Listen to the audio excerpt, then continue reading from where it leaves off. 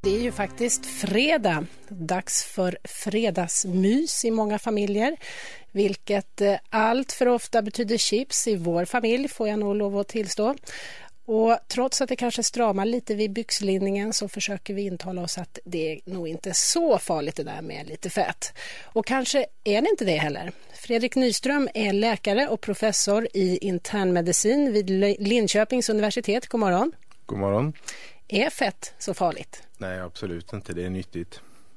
Det säger du med ja. självklarhet? Ja, man behöver inte äta lika mycket kolhydrater om man äter mer fett. Det är ju det mättade fettet som fortfarande är kontroversiellt. Det som finns i bacon och smör och så. Hur, hur påverkar det hjärtat? Nej, det är inte farligare än, än något annat eventuellt överintag av kalorier för det ska man ju undvika. Det är ju energitätt med fett så på så sätt kan det vara lurigt. Men å andra sidan ger det mycket mättnadskänsla. Mättat fett är inte farligt. Det vore väldigt konstigt om det skulle vara farligt eftersom det är det vi gör själva i kroppen när vi bildar fett från till exempel kolhydrater. Det är också det som finns i bröstmjölk i ganska stor utsträckning.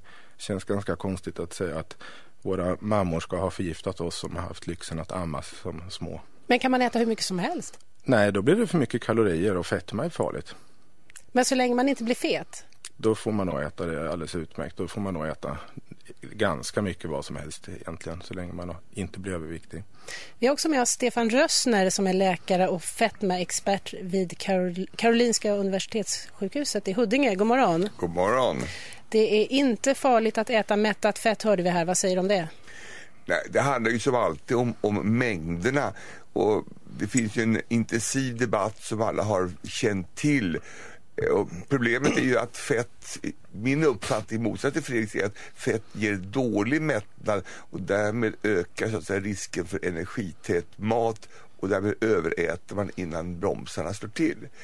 Om man äter lite då kan man äta precis vad som helst och din fredagschipspåse tror jag inte är bekymret utan det är det faktum att fett plus socker socker ger extremt energität mat och då överäter vi och då går vi upp i vikt. Och att fetma är ett, ett problem idag, det är nog allihopa numera helt överens om. Mm. Men om, du är ju expert eh, åt Livsmedelsverket mm. eh, som har rekommendationer eh, att max 25 till 30 procent av energiintaget ska komma från fett och av den mängden får max 10 procent vara mättat fett. Eh, Stefan Rösner, hur mycket är det? Alltså om man äter balanserat och håller vikten så kan jag hålla med Fredrik om att då kanske det inte spelar så stor roll. Men, men hur mycket är det där? 10 procent av, av det här energiintaget då? Ja, 10 procent är 10 procent.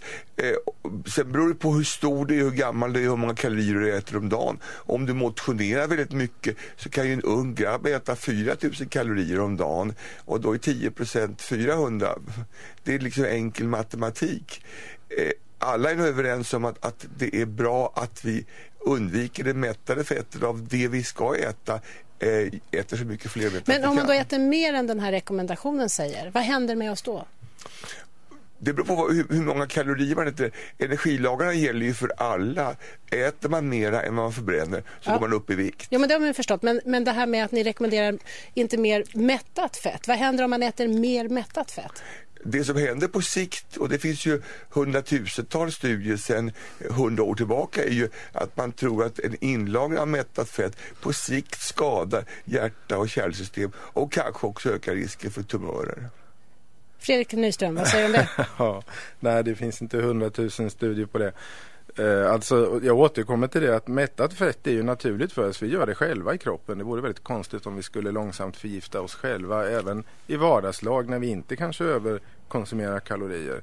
Det finns inga bevis för att mättat fett jag, skulle vara farligt. Det, det, är snarare så att eh, som i min egen korta snabbmatsstudie så var det just mättat fett som höjde halten av nyttigt HDL-kolesterol. Det finns en stor studie där man minskat allt intag av fett under åtta år på kvinnor som inte kunde visa att kardiovaskulär, alltså hjärt-kärlsjukdom gick ner. Det hade absolut ingen effekt på cancer heller. Trots att man i samma studie också ökar intaget av grönsaker och av fibrer. Stefan Rösner, det finns inga vetenskapliga bevis för att mättat fett är skadligt? Ja, vi tolkar ju vetenskapen på olika sätt och det är det som bidrar till att det blir den förvirring det blir. Det finns lika många studier som pekar i den andra riktningen. Så att, att här beror det på vilket utsnitt man gör av den vetenskapliga litteraturen och det är ju där som allmänheten kan säga att, att de är förvirrade när de hör att vi har olika åsikter. Ni, är- Fast- ni är fast- också förvirrade, är det så man ska tolka det? Ja, vi är inte förvirrade och vi är vana vid att leva med de här motstridigheterna. Det är inte så att forskarna ligger sömnlösa för att det är olika uppfattningar. Det är ju så som forskningen drivs framåt. Men det är klart att det finns mängder med undersökningar som har visat att fett ger sämre mättnad än protein. Det är allihopa överens om. Och som visar att det mättade fettet har eh, skadliga effekter på lång sikt. Sen är en del studier bättre en del studier sämre. Så Alltså är det, livet. Fredrik jag, jag, måste, jag måste få invända lite att det är ju inte antalet studier som är det viktiga. Det viktiga är ju om de har kvalitet och gärna om de är stora och verkligen är designade för att testa det som man sen uttalar sig om. Och det finns bara en stor sån studie idag och det är Women's Health Initiative. Och den kunde inte visa att det var bra att undvika fett och öka mängden kolhydrater. Sen spelar det ingen roll om det finns 99 000 andra jättesmå studier som inte har kunnat visa det som är mycket sämre. Det är den senaste studien, den är störst, det är den enda som är designad för att verkligen visa effekt på hjärt-kärlsjukdom och inte bara på labbprover. Ste Stefan Rösner, ska man tolka dig som att du ändå har blivit lite mindre kritisk till mättat fett? Ja, det, det är inte så det fungerar. Man röstar ju inte om forskning med eh, tio röster mot fem och så vinner en åsikt. Utan det är genom den här debatten som kunskapen föds framåt.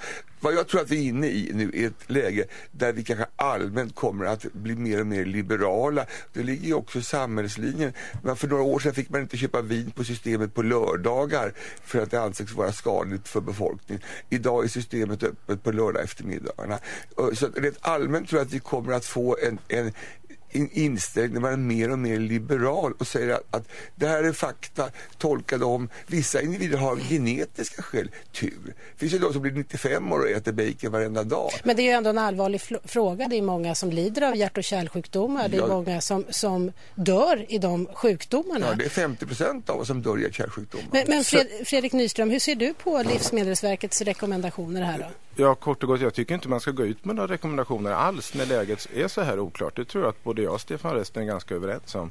Man borde dra tillbaks dem så att man inte skuldbelägger folk som äter på ett visst sätt och som till exempel ändå inte blir tjocka. Och även i viss mån de som är tjocka kanske har dåligt samvete för saker som är fullständigt onödiga för det bygger på så svaga data, det Livsmedelsverket säger. Och sen vill jag replikera mot det här med mättnadskänsla. Jag tror alla känner till att om det är någonting som automatiskt inte är mättnadskänsla så är det kolhydrater. Man kan dricka en liter light cola och bli precis lika mätt som på en liter vanlig cola och det skiljer 500 kalorier mellan de dryckerna och det Men- märker man inte. Men, men eh, Fredrik Nyström, den som har höga blodfetter då? Det, vad ska det är en göra? helt, annan fråga. Den ska få statiner, blodfettsänkande läkemedel. Vi har nästan ingenting i medicinhistorien som är så välbelagt att det inte bara snyggar till labbprover utan också minskar hjärt Men kan den äta mättat fett? Oh ja, absolut. Så det behöver inte Ko- vara kosten har mycket lite med LDL-kolesterol att göra. Alltså det, det onyttiga kolesterolet påverkas i väldigt liten utsträckning av dieten. Det som dieten möjligen kan påverka är halten utav det